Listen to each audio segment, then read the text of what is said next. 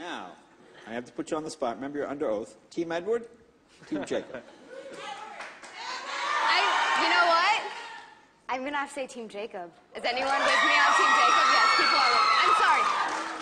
Your hair looks wonderful in person, but I have to say I'm Team Jacob. I'm sorry. I'm sorry.